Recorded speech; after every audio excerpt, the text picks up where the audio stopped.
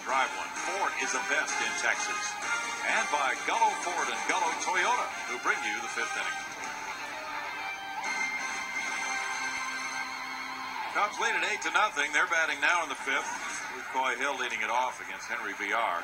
Hill double to right center in the third. He's one for two. Looks at ball one.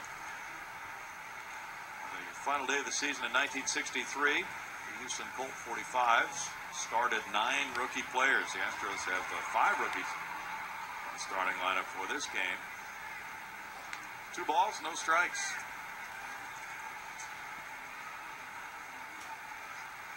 We're trying to send out a message that uh, there was room available on their roster for young players to sign and move quickly through the minor leagues. Wallace with the toss. 3 1 play, one out. There's a little recruiting ploy. Certainly so. Uh, Phil Boudreau said, uh, Tal Smith said it was uh, tough to sign players at that point because the Colt 45s had just started their existence a year before. And, uh, a lot of young players were a little reluctant to sign with a new organization, not knowing how good, how competitive that organization would be. So that was one of the thoughts in putting together that lineup card that day. Because that was prior to the draft. There was no draft in place. Very good point. It was a grab bag. Rusty Staub, Jimmy Wynn, Jerry Grote, Joe Morgan, Sonny Jackson among the players on that club.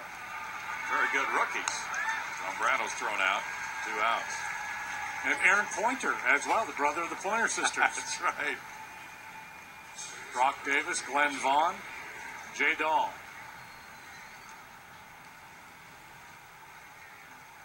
Old Colt Stadium. Brad Mills Club trailing 8 0 has two quick outs here from Villar. Now it'll be Baker. Baker has scored three times. Walk, single, and an error putting him on base in this game. Average age of that lineup 19 years and four months. Wow. Jay Dahl was the pitcher who died in a car accident a year later.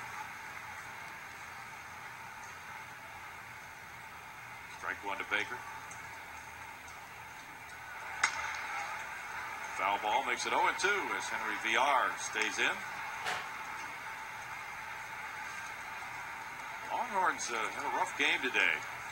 Yeah, they made a little bit of a comeback, but uh, 28-20, I think. Oh, is that Oklahoma beat them, yeah. Fly ball. Bogusevic over into right center field for this one. In the fifth, it goes one, two, three for Henry Villar. Cubs lead at eight to nothing.